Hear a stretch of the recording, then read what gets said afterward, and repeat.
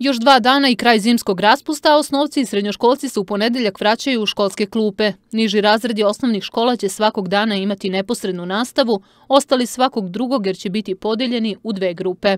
Učenici osnovne škole od petog do osmog razreda pohađat će nastavu po drugom modelu, to jest kombinovanom modelu, što podrazumeva da će se odeljenja koja su veća od 16 učenika, koja ima više od 16 učenika, deliti na grupe, tako da će prva grupa ići ponedeljak, sreda, petak, a druga grupa ići će utorak i četvrtak, da bi sledeće nedelja, ako dođe do, ili ostane ovaj e, model e, nastave, se e, pravila kombinacija, znači te grupe bi se zarotirale.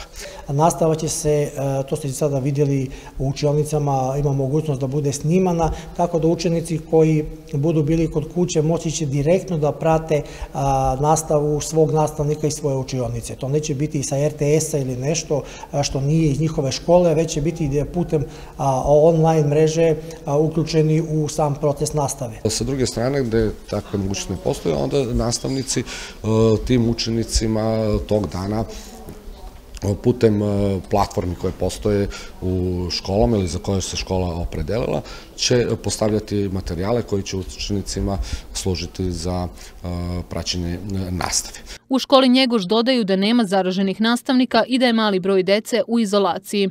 Broj dece e, koja sjedi kod kuće je izuzetno mali u odnosu na broj učenika, na nekih 490 učenika koliko broj osnova škola Njegoš, ima, nekih, ima manje od 10 učenika koji će a, ostati kući zbog COVID-a. Mislim da samo dvoje, troje a, sjedi zbog toga što je inficirano COVID-19, a ostali su u izolaciji zbog svojih ukućana, a ne, a ne zbog sebe.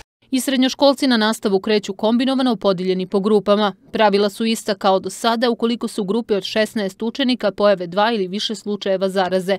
Ta grupa prelazi na online nastavu. Maske su obavezne za sve učenike od ulaska u školsko dvorište pa preko boravka u samoj e, školi i do izlaska. Tim za škole kao i do sada pratiće stanje i donositi odluke na nedeljnom nivou.